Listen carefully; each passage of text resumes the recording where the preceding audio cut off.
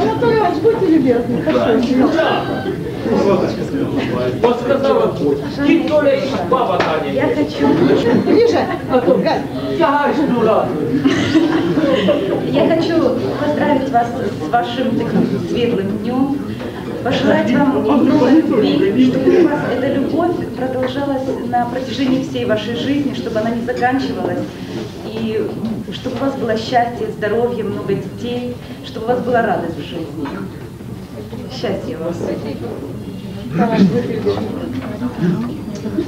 Ну что Галочка, рюмочки приготовьте себе. Ситуация такова. У нас с Галей уже опыт полтора года совместной жизни. Чуть-чуть. Могу сказать одно, что главное, чтобы ты хотел идти домой после работы. Это главное. Я считаю, что все остальное это будет плохо, хорошо, что ты хотел идти к жене именно домой. Поздравляю вас. Спасибо. Галочка, Тарас, ваши рюмочки и до дна. Спасибо. Абраменко Мазуркевич.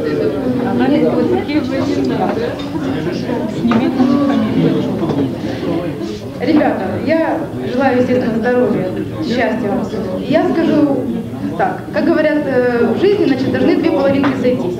Этих людей я знаю очень давно, будем говорить так, очень давно. И очень хорошо я их знаю. Я скажу вам всем, это две половинки, которые нашлись. И я вам скажу, это сто процентов. Это две половины, которые сошлись, и сюда, это вс- всем, все это, все, этим все сказано. Просто они самые счастливые и самые лучшие. Спасибо. Господь соединил их. Я прошу, Наташа, выйдите за это. Наташа, пожалуйста. Ну, а мы знакомимся с супругами Оксаны и Сережи. Пожалуйста. Значит, я хочу сказать э, следующее, что тост должен быть краткий, как команда, как выстрел. Иначе времени на отдых не останется. Есть э, в Грузии такая притча.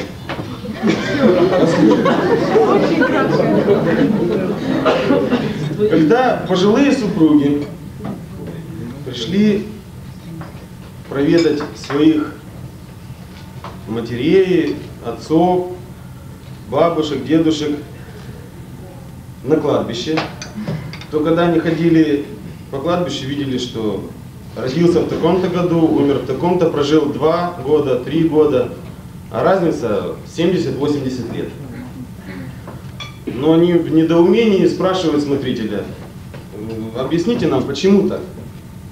Он им объясняет, что разница вот эта, 2-3 года прожил между датой рождения и смертью, объясняется тем, что это счастливое мгновение их жизни вместе собранные.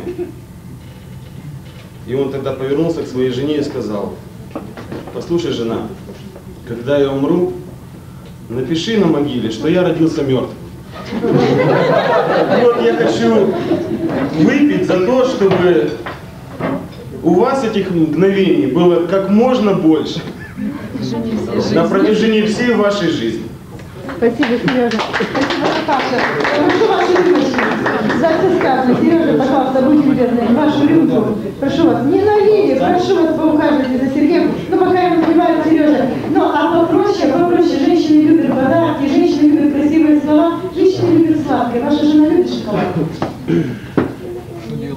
Ну, с кофе. Можно. Вы, пожалуйста, вы принесли другой шоколадки в форме мальчика и девочки. Какую шоколадку вы сразу схватите? Мальчик или девочка? Что получится? Мальчик или девочка? Сережа, вопрос для вас. Мальчик. Правильно, ответ правильный, ответ правильный. А можете сказать почему? Свойственно, девочки любят мальчиков, мальчики. Единство противоположное. Да, Даю маленькую подсказку, но мальчики больше шоколада. Да. До дна, но все сказано. Сережа и Наташа, наши гости. Прекрасно, прошу вас до дна. Счастливейшая примета. Столько молодых пар прекрасных. Ребят, Нет, это на других свадьбах. мы с вами знакомы давно, и это в де- в десятеро нам более приятно, что вы соединили свои браки, свой брак в таком союзе, и что вы будете теперь продолжать свою жизнь в таком прекрасном союзе. Вот. Мы вам пожелаем, чтобы у вас был большой дом, и чтобы в этом большом доме всегда звучал прекрасный людской гомон, который составляет ваши семьи, ваши родные, ваши дети, которые будут всегда общаться с вами, которые будут вы общаться с ними. То есть то семейное благополучие, которое в принципе и есть жизнью. Вот. За вас, ребята, за то, чтобы вы все это дело обеспечили и Пожалуйста, вы два слова. Пожалуйста, супруги. Одно слово. Горько. Горько молодым! Горько! Горько молодым!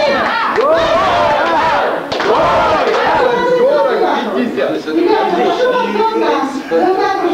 Ну, а мы представляем вам супруги ой, Юлия и Игорь. Я знаю вас уже давно. Вот. И я хочу присоединиться к словам Наташи Костенко, что вы действительно вы две половины, которые были созданы действительно друг для друга. И мы нашли друг друга. Также хочу пожелать, чтобы у вас была здоровая семья, чтобы у вас родились здоровые дети, чтобы вы понимали и помнили своих родителей, и в свою очередь ваши дети тоже о вас не забывали.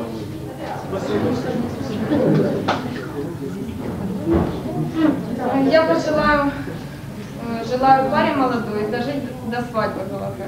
Спасибо. Спасибо. Ваши рюмочки, прошу вас, обязательно ваши рюмочки и до дна. До дна. Ну, а мы передаем микрофон Игорю Великий. Вас. Супруги Шевстюк. Лежа. Я хотел провозгласить тост, но уже этот тост как, как бы меня опередили, я не буду повторять. Я хочу много всего пож- ну, вам пожеланий было сказано. Я хочу присоединиться к всем пожеланиям и от себя добавить, что, чтобы вам счастья, любви и долгой жизни. Жанночка, Сережа, мы вас поздравляем с этим знаменательным днем. Но знайте, жизнь разбить не трудно, а сложить трудней. Будьте же вы мудры, мягче и добрей. Слушайте друг друга и любите жизнь, ведь вдвоем проблемы легче пережить. Спасибо, Вика. Ребята, ваши рюмочки, прошу вас. Опыта в семейной жизни у меня мало, можно сказать, вообще нет. Так что Мало или нет? можно сказать вообще нет. Ну, можно сказать. Но так что в этом направлении я вам ничего не могу пожелать, но я хочу вам э, сказать тост. Именно что я могу вам пожелать, о чем я знаю. Значит, были два друга с детства, которые жили, вот с, э, родились в одном городе, они жили с самого вот садика, жили они вместе, ходили в один садик, ходили в одну школу. Они выросли, ну, закончили 11 класс. Конечно, их пути разошлись. Один поступил э, на юридический факультет в школу милиции, а второй стал ну, жуликом, ну так сложилось у него там в судьбе, в семье проблемы были, ну стал жуликом. Попался там, и его посадили в тюрьму. А второй друг его закончил свой университет и зажил хорошо, там, ну, стал начальником. Значит, э, выпустился, ну, освободился уже с тюрьмы друг. А тот, который э, закончил университет, у него уже была своя фирма, он был начальником фирмы. Ну и друг думает, ну, тот парень, который освободился, думает, кому же не обратиться, как к старому другу. Идет к нему и просит у него работы. Он говорит, мол, мы с тобой старые знакомые, дай мне какую-то работу, потому что меня везде отвергают, я отсидел в тюрьме. Ну и друг же говорит такой, ты понимаешь, вот ты отсидел в тюрьме, это репутация фирмы будет портиться, я не могу тебе дать никакой работы. Ну, конечно, э, там разговора длинного не было. Второй друг все понял, развернулся, уходит. Стоит он на остановке, ждет трамвая. Вот только он вышел с этой вот фирмы, расстроенный весь, не знает, что делать, ждет трамвая. Э, Подходит к нему старый, старенький пожилой человек. Подходит и говорит, дает ему чемодан и говорит, если меня через два часа вот не будет, я сейчас ухожу по делам, если меня через два часа не будет, ты можешь забрать все содержимое чемодана себе. Ну, он говорит, да какие проблемы, говорит, пожалуйста. Взял чемодан, стоит час, стоит второй, Нету старичка, стоит третий, четвертый, нету. Ну, он открыл чемодан, а там полный чемодан денег. Он такой, ну, уговор был, два часа нету, забирает себе. Забрал он тоже, открыл свою фирму, открыл, зажил хорошо тоже. И у него заболела мать. Он бросался ко всем врачам, там, никто ему не мог помочь. И однажды вот так вот он сидел в квартире, звонок, открывает дверь, а на пороге стоит э, бабушка, старушка, которая говорит, я могу помочь тебе вылечить твою мать, я знаю про твое горе, про твою беду. И дала ему лекарство, очень дорогое, которое, ну, было лекарство от той болезни, которая болела мать, ну, э, оно было очень дорогое, надо было там заказывать, ну, не мог себе позволить э, его купить. Дала ему лекарство, он вылечил мать, все. Познакомился он с красивой женщиной, все, все вроде хорошо, зажил классно. Познакомился с красивой женщиной, решили сыграть с девушкой, решили сыграть свадьбу. И, ну, так как он раскрутился, у него было много денег, он решил пригласить весь город на свадьбу. Пригласил он весь город, собрались все. Разные тосты звучали, там разные э, все поздравления. Вот очень все красиво отдыхали, каждому давали слово. А друг его, вот, вот э, типа друг, Лип- да? липовый друг, сидел в дальнем таком углу, вот мы здесь. И до него дошло слово, он встает и говорит, я хочу выпить за друзей.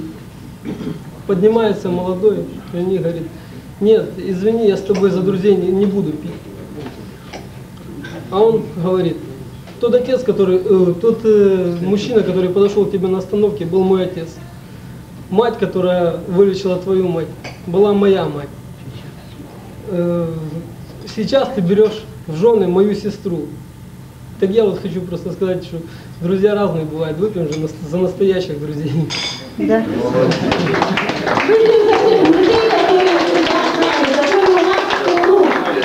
Я прошу вас, давайте и уважаем. Какие великолепные представления. Не важно, очень важно, все женятся. И Виталий женится, и Богдан женится. Очень важно, чтобы вы взяли в жены